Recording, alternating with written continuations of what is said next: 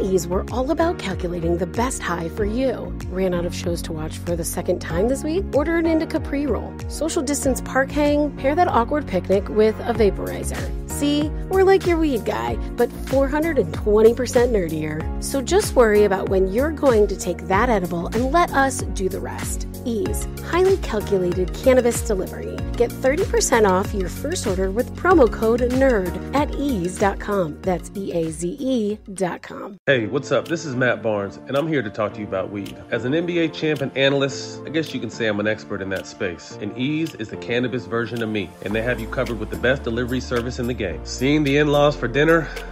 That's a low dose sativa gummy. Can't stand another Zoom meeting? They're sending in some top shelf THC beverages. So what are you waiting for? Get up to 30% off your first order with promo code MATT. That's M A T T at eaze.com. Eaze, a highly calculated cannabis delivery service.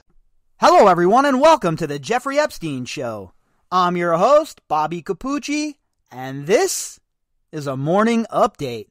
What's up, everybody, and welcome to the program. So, we are one week away from Las Vegas opening at 80% capacity. So, next Saturday night in Las Vegas, it is going to be an absolute shit show.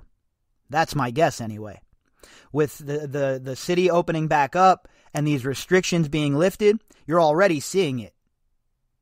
I was bouncing around to a different a couple of casinos yesterday, doing some uh, wagering for the UFC fights tonight, and uh, I was really, really, really, really shocked by how slammed everywhere it seemed I, I went was.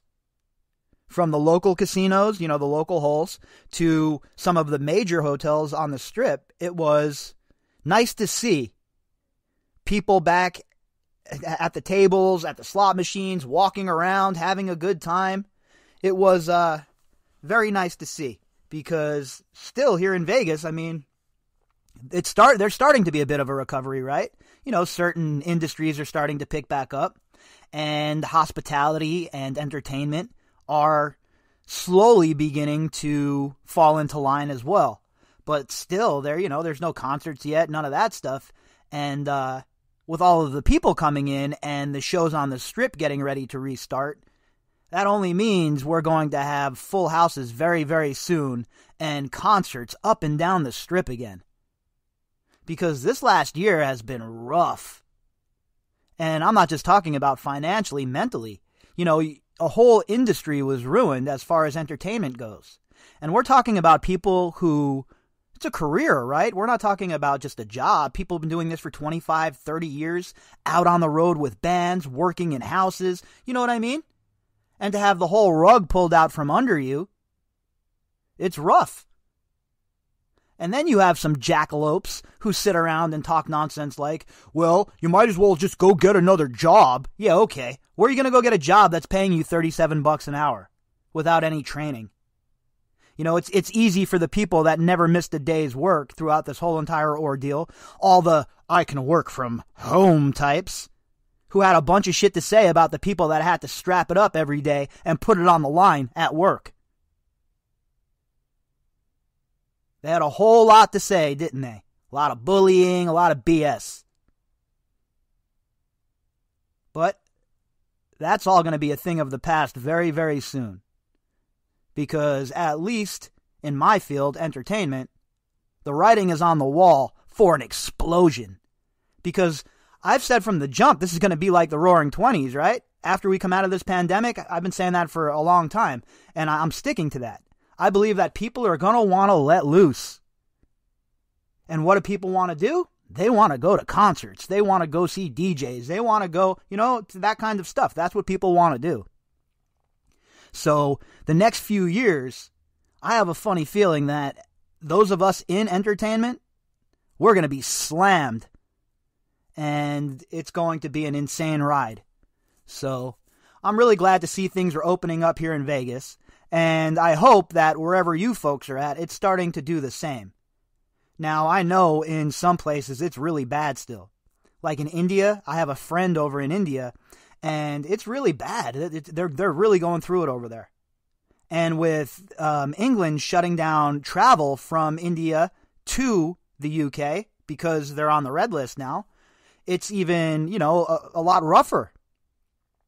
So, to all of you out there listening, if you're in India or any other country that is still being ravaged right now, hang tough. I wish I had something better to say to you guys. I wish I had some advice to offer, but all I could say is hang tough. You, uh, I certainly haven't forgotten any of you. I watch what's going on around the world and it breaks my heart. I wish there was more I could do. I wish I had the money of these scumbag billionaires that we talk about every day so I could really enact some change in the world. But to my friends overseas who are really going through it right now, who are, you know, stuck in a rut maybe, hang in there. Hang in there. There is silver lining in the cloud, and eventually all of this is going to blow over as well. So, all right, let's jump into our article for today. Now, we know that the 11th Circuit Court of Appeals absolutely shit the bed and dropped the ball. That NPA should have been overturned. There's no reason that that that uh, that non-prosecution agreement should be live, should be kicking around still. That thing should have been done away with a very long time ago. In fact, it should have never been put on the books in the first place. So, after the 11th Circuit Court of Appeals dropped the ball, you're only left with one other option if you're the survivors, Courtney Wild, and the lawyers. And that is elevating and escalating it all the way up to the Supreme Court. And that's where I said from the jump that this should end up. And according to a new article from ABC News, that's exactly the path we might be on. So let's jump into this article from ABC News and let's see what the author of the article, James Hill, has to say. Headline Case over Jeffrey Epstein's sweetheart deal could be headed for Supreme Court. On a Friday afternoon in July 2008, 20 year old Courtney Wild appeared in federal court in West Palm Beach, Florida, demanding answers from federal prosecutors about their investigation of multimillionaire pedophile Jeffrey Epstein, who allegedly sexually abused Wild and dozens of other underage girls at his waterfront mansion on Palm Beach Island. Now, right, first of all, what is that? What's allegedly even supposed to mean at this point? Jeffrey Epstein's estate's making these payouts there's no allegedly left with Jeffrey Epstein. You could say allegedly with Ghislaine Maxwell because she's not convicted yet, right? But it's pretty much a foregone conclusion at this point that Epstein is guilty of everything that they said he did. Or else, why would his estate be paying out hundreds of millions of dollars? So let's just axe the allegedly part off of Jeffrey Epstein, shall we? Her legal action forced the government's admission that the U.S. Attorney's Office in Miami already had reached a confidential deal with Epstein several months earlier without informing the alleged survivors. So the government was in the wrong. They knew that they had to tell these survivors what was going on, keep them aware of the situation. They didn't do any of that. They completely disrespected the survivors again, disrespected their rights, and absolutely ignored the law put on the books to prevent this exact thing from happening. And then, with all of that information, it goes to the esteemed 11th Circuit Court of Appeals. And those windbags, led by their Harvard Pied Piper, Mr. Newsom, decided in their infinite wisdom that the NPA was going to stand, but they're really sorry about it. I mean, really? That's that's what you're going to say to these gals after completely destroying their hopes for justice or at least putting uh, a big roadblock in the way? I'm sorry, huh? Well, I have news for you. I'm sorry 11th Circuit Court of Appeals is not going to cut it. That is not what you're there for.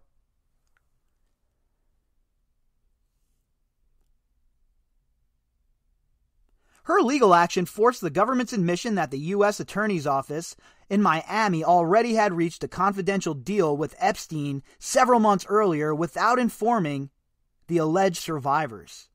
Over 12 years of litigation, Wild's case ultimately exposed details of the secret negotiations between prosecutors and Epstein's high priced legal team that led to the controversial agreement. So remember, if it wasn't for Courtney going ham over all of this, we probably would have never even known what the shitbag federal prosecutors and state prosecutors were up to. And that's how they like to operate, huh? They like to operate in the shadows. They like to operate in a manner that is concealed from the rest of us. Like they have some sort of special privilege that's afforded them by their office or their elected position. And the rest of us should just listen to what they have to say because they're so smart. Without our case, probably no one would have seen the non prosecution agreement, the secret agreement, said Brad Edwards, an attorney for Wild, and he's not wrong.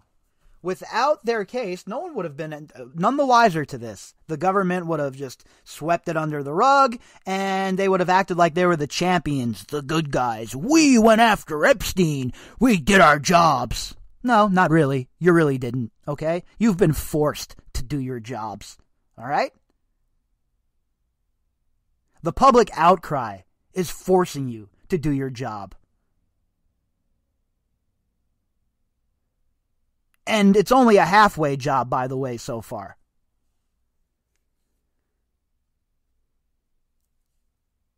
Without that action, nobody would have known just how bad Epstein and his other co conspirators were.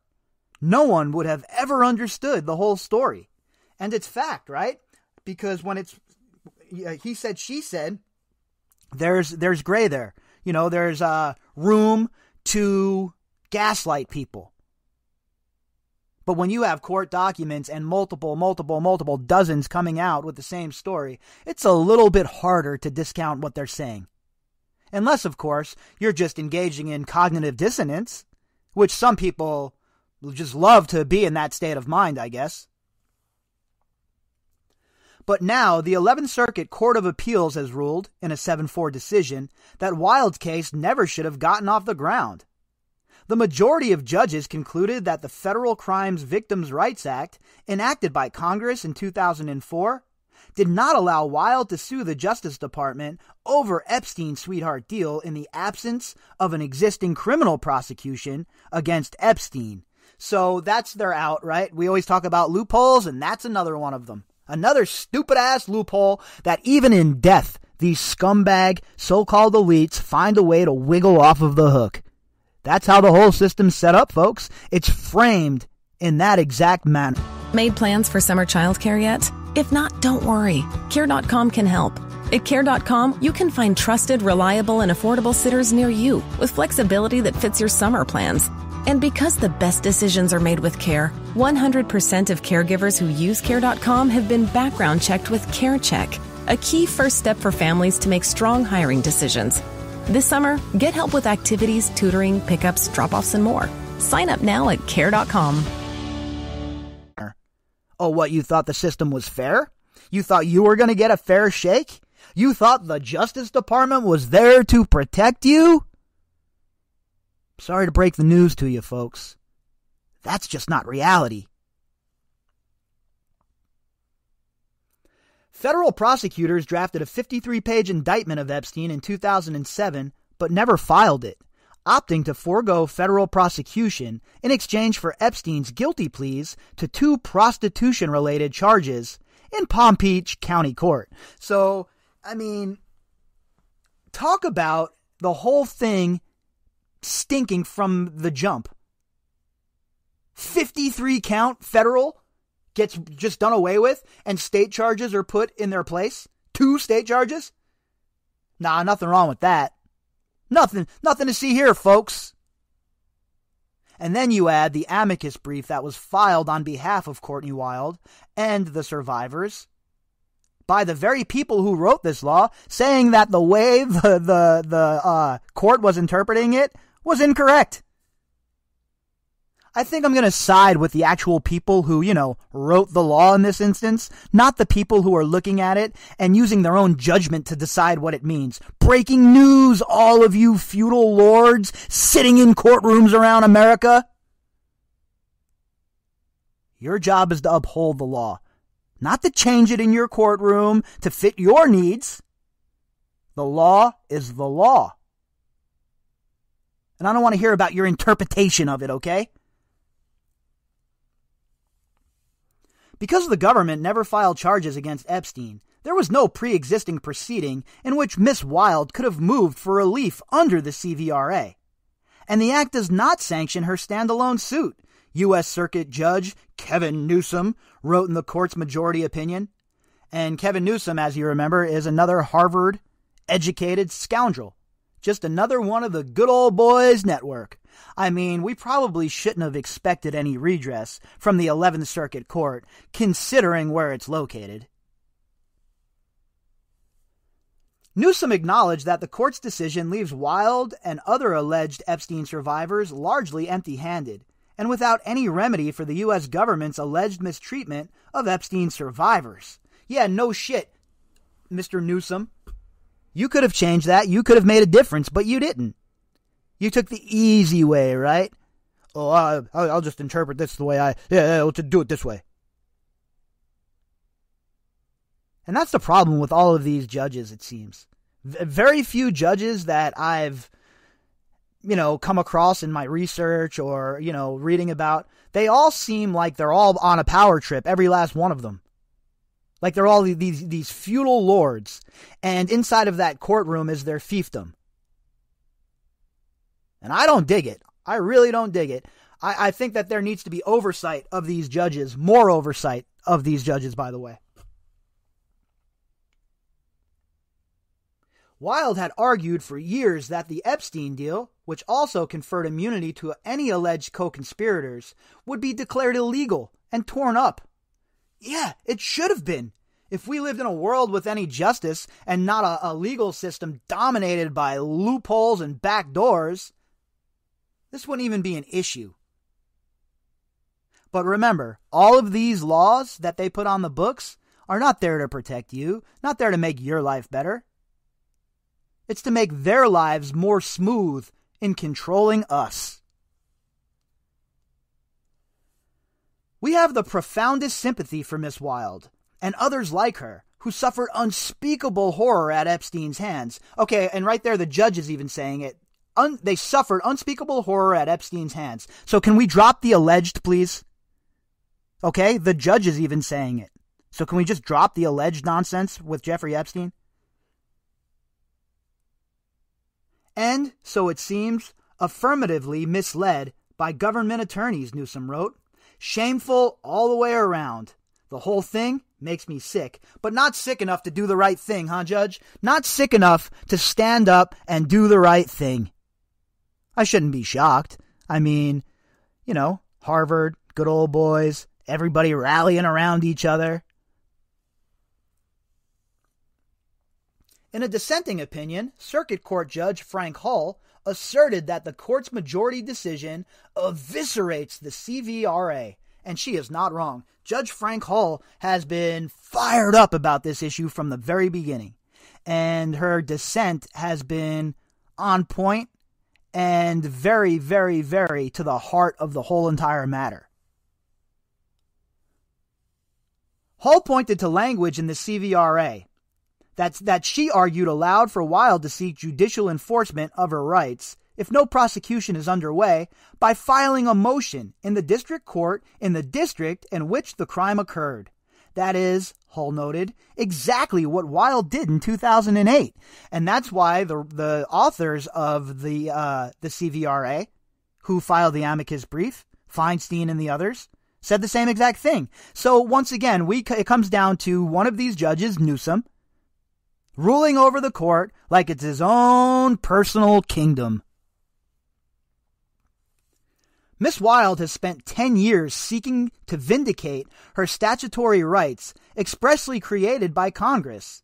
Today, the majority tells Miss Wild and Epstein's other survivors that all of that was for naught, since they never had the right to file their motion in the first place back in 2008, Hull wrote. And again, Judge Hull has not pulled any punches here. She has let her colleagues know that she is not happy with this decision. She is not happy with the way the court has ruled here. Wild's attorneys told ABC News this week they plan to ask the nation's highest court to take up the case and overturn a ruling they contend is outrageous and wrongheaded. Thank thank the maker, right? I said this right away. You got to accelerate this all the way up to the Supreme Court. Now, the Supreme Court only takes a handful of cases a year, so there's no guarantee that they'll even hear this case. But you have to accelerate it. There's no way you just take this L, right? Oh, all right, well, that's it. We have no more redress. You know what? You've come this far. You have to go all the way at this point. And I'm very, very happy to hear Brad Edwards talk about bringing this all the way to the Supreme Court. Let's see what they have to say about it. We plan to seek review in the U.S. Supreme Court of this unfortunate, far reaching decision, which makes victims' rights completely unenforceable in situations where federal prosecutors cut a secret deal with wealthy defendants, said attorney Paul Cassell, a former federal judge who, along with Edwards, has spent several thousand of pro bono hours on Wild's case. And I love that, to love to hear that too. Pro bono work? I, I mean, if I was a lawyer, I'd be looking for cases like this all the time to take on. Especially if I had already succeeded in my career and I had a bunch of money, like the Suck Squad, you know, Ghislaine Maxwell's team. I'd be looking for people to help, like Kalief Browder and others. But it's all lip service from these kinds of people. They're not interested in helping the poorest amongst us. If they did that, they'd have nobody to lord over. Basically, Cassell added, what this means is if you're rich enough to hire a battery of lawyers to cut a pre indictment deal, then you don't have to worry about the victims at all. 100%. Where's the lie in that? Mr. Cassell is 100% spot on. Money talks. If you got the right amount of dough and you can bring in the right lawyers who have the right connections, shit's going to be a lot easier for you. The ruling by the 11th Circuit effectively nullifies previous decisions by U.S. District Judge Kenneth Marra in West Palm Beach. Marra ruled in February 2019 that federal prosecutors had reached the deal with Epstein in violation of the rights of Epstein survivors. But as Marra was considering a potential remedies for the government's infraction, Epstein was arrested again in July 2019 and charged in New York with federal conspiracy and sex crimes against minors. So, right as the judge was getting ready to make a decision on the NPA, Epstein gets swooped up again and then mysteriously dies in custody, huh? Yeah, nothing to see here, folks. Just keep it moving. I mean, how many coincidences do they want us to just accept?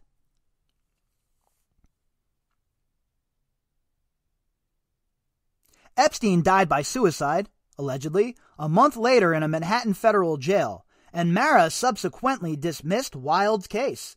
Yeah, just just so so happened, huh? Jeffrey Epstein sure is a lucky guy, and all of his associates and the people that he was covering for must be real lucky too. He just happens to die, just all of a sudden becomes suicidal, right on the heels of all of this. Oh, oh yeah, okay, totally believable.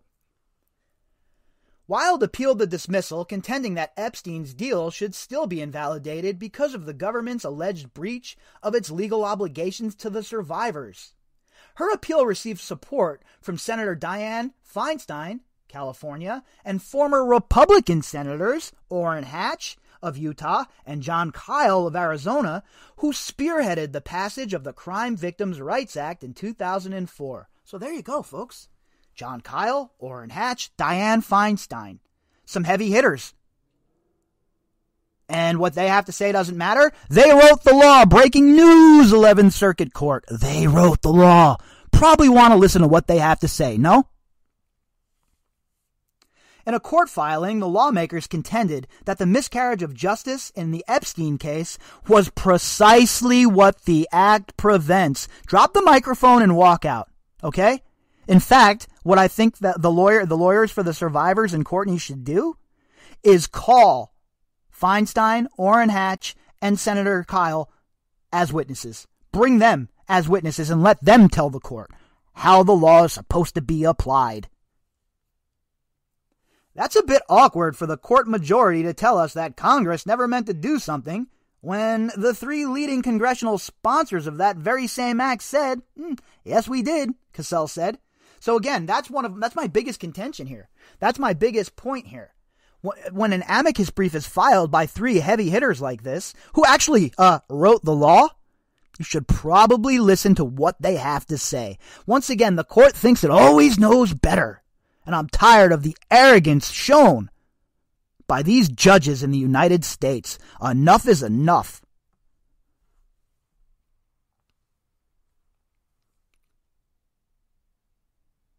Cassell and Edwards acknowledge that the odds are against them in their pursuit of review by Supreme Court, which hears only about 2% of the cases presented to it each year.